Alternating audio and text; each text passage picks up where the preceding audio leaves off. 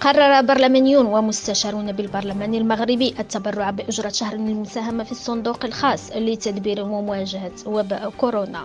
وشارك 395 برلماني بمجلس النواب و120 عضوا بمجلس المستشارين في عملية التضامن لمواجهة هذا الوباء.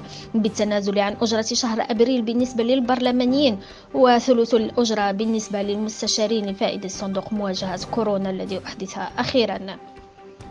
ويتقاضى البرلماني مبلغ 26 ألف درهم مما سيوصل مبلغ التبرع للصندوق لبليار و375 مليون سنتيم. في نفس الاتجاه قرر عثمان بن جلون رئيس بنك إفريقيا تخصيص كل أرباح البنك للثلاثة أشهر الأولى. من هذه السنة لفائدة صندوق مواجهة الوباء إضافة إلى تخصيص مجموعة شركات إفريقية لمليار درهم كمساهمة في الصندوق الخاص لتدبير ومواجهة وباء كورونا. وصدر اليوم مرسوم في الجريدة الرسمية يقضي بإحداث صندوق بتدبير جائحة فيروس كورونا الذي تبلغ اعتماداته عشرة مليار درهم.